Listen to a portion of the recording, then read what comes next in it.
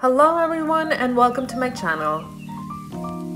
Today we'll be painting a portrait of a cat. To begin with, let's start with the background.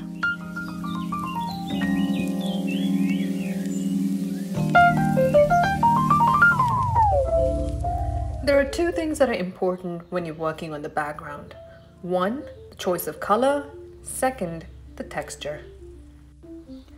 When it comes to color, you can either choose a complementing color or a contrasting color.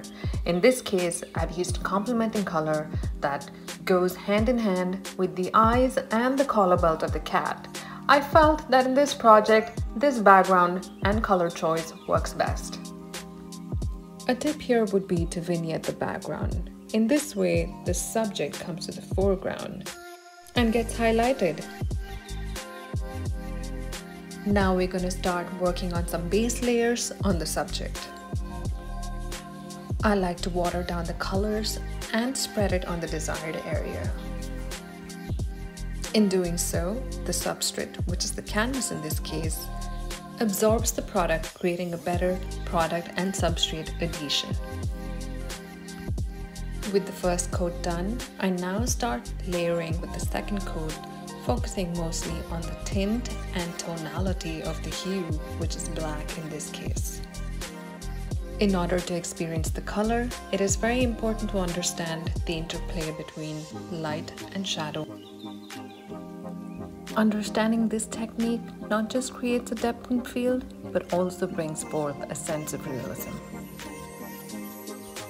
I mostly take breaks between layering this helps me come back with fresh eyes and helps me understand what I've done and what I can do better and make necessary corrections.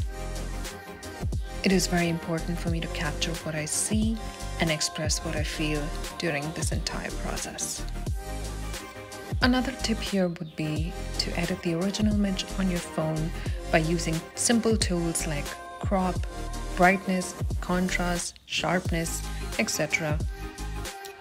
This helps with paying attention on details like the eyes, nose, and fur. Capturing the fur is the trickiest part of a pet portrait. I often zoom in and out a million times in order to capture all the details I possibly can. This is the last part where the finishing touches play a very important role time to work on those thin strokes that are very important to bring the portrait to life. At this point, you have to pay extra attention to the finer details here. Brush calligraphy becomes essential in fine tuning at a micro level. Lastly, capturing the eyes with the catch light adds the much needed last touch to bring the painting alive. Thanks for watching you guys.